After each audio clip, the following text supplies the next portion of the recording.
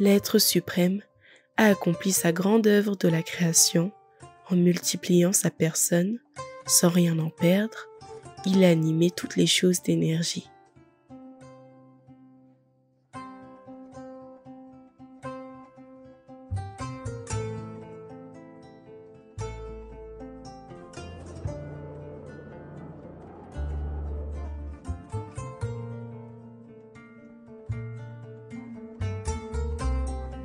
Commencement des temps, le monde était un endroit empli d'eau et de marécages.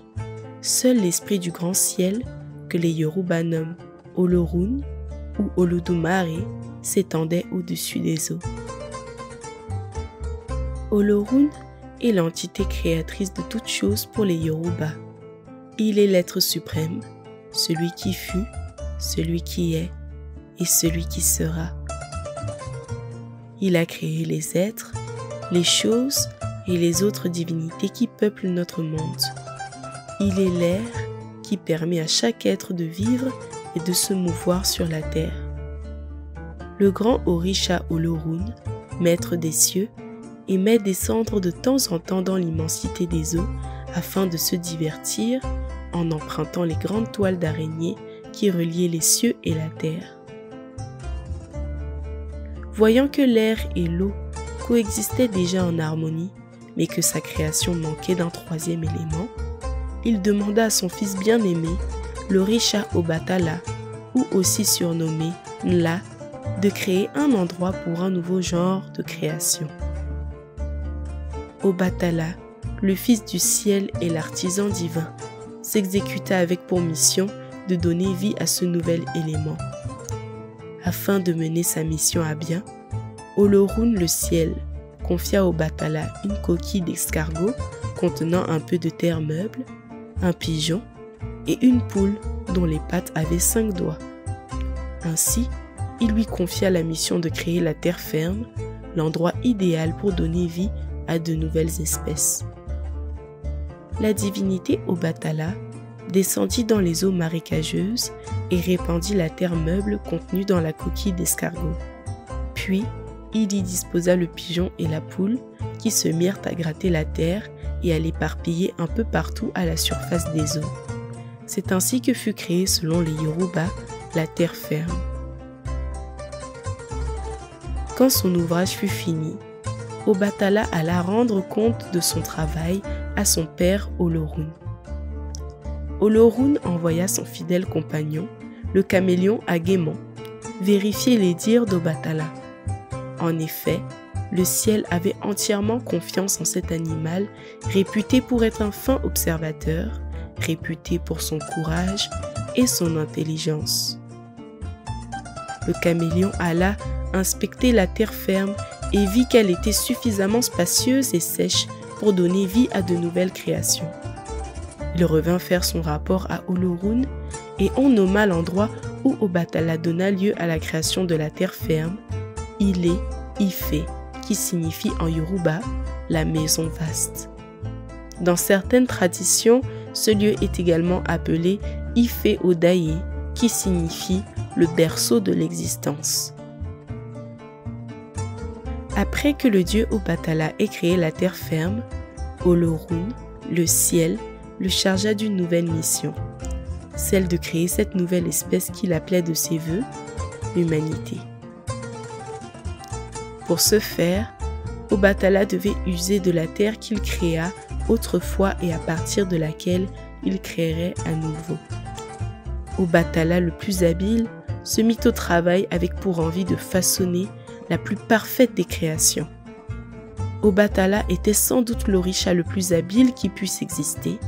Il faisait preuve d'une grande dextérité et était admiré par tous pour ses créations les plus incroyables les unes que les autres.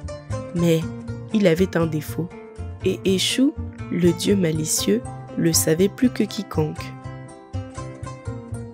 Eshu dans la tradition yoruba est un orisha mystérieux.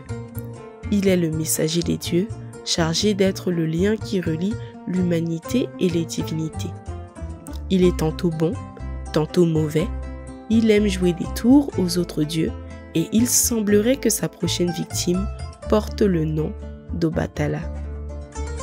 Alors, lorsqu'Obatala était en train de travailler sur la tâche que son père lui avait confiée, Échou, connaissant le défaut d'Obatala, disposa sur son plan de travail du vin de palme.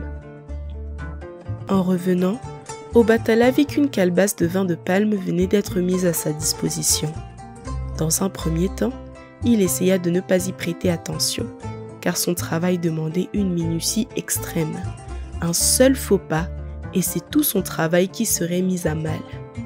Cependant, Échou le malicieux n'avait pas mis cette calebasse au hasard. Il savait pertinemment que tôt ou tard, le dieu finirait par boire de ce breuvage. Et c'est ce qui arriva.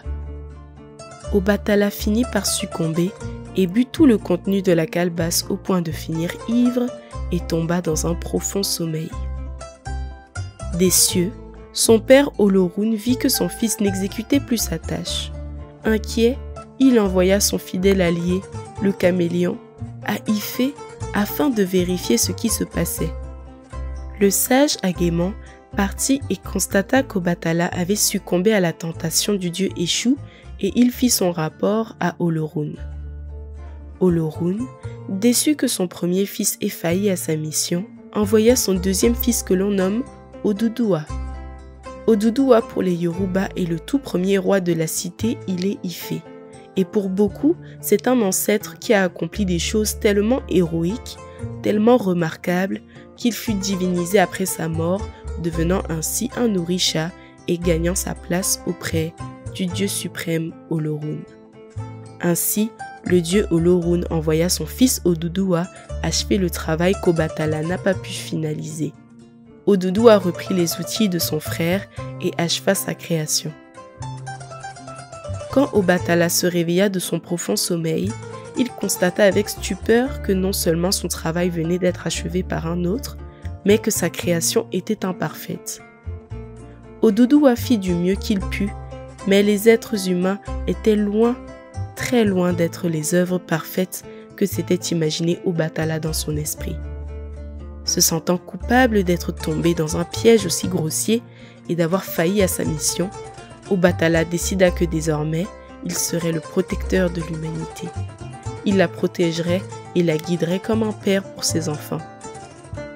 C'est pour cette raison que les adorateurs et ceux qui pratiquent le culte du dieu Obatala ont pour interdiction de consommer du vin de palme en hommage à cette légende. Après qu'Ododua ait fini d'achever la création des hommes, Olorun, l'être suprême, insuffla le souffle de vie à ses créations. Odudua devint le premier roi de l'île Ifé et on dit qu'il offrit un palmier de noix et la pluie en cadeau aux premiers hommes qui peupla la terre. Olorun acheva également la création de notre monde en y façonnant les plaines, les montagnes, les astres et donna une place à chaque être afin que tous puissent vivre en harmonie dans leurs éléments respectifs les hommes furent également confiés sous la protection des Orishas, à commencer par Obatala, le protecteur de l'humanité. C'est ainsi que jusqu'à nos jours, on dit que Ile-Ife est la cité la plus abondante sur Terre, car c'est là que l'Olorun décida, avec l'aide des autres Orishas, de créer l'humanité. Ainsi s'achève la création du monde selon les Yoruba.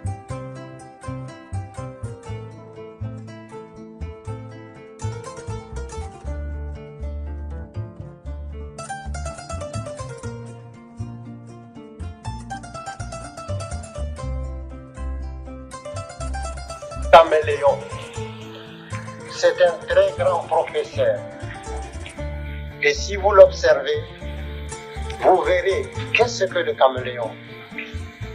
D'abord, quand il prend une direction, il ne détourne jamais sa tête. Donc, ayez un objectif précis dans votre vie et que rien ne vous détourne de cet objectif. Et qu'est-ce qu'il fait le caméléon? Il ne tourne pas la tête mais c'est l'œil qu'il tourne. Le jour où vous verrez un caméléon regarder, vous verrez c'est son œil qu'il tourne. Il regarde en haut, regarde en bas. Ça veut dire, informez-vous, ne croyez pas que vous êtes le seul existant de la Terre. Il y a toute l'ambiance autour de vous. Et le caméléon, quand il arrive dans un endroit, il prend la couleur du lieu. Ce n'est pas de l'hypocrisie. C'est d'abord la tolérance et puis le savoir-vivre. C'est heurter les uns les autres n'arrange rien. Jamais on n'a rien construit dans la bagarre. La bagarre détruit. Donc, la mutuelle compréhension est un grand devoir. Il faudrait toujours chercher à comprendre notre prochain. Si nous existons, il faut admettre que lui aussi, il existe.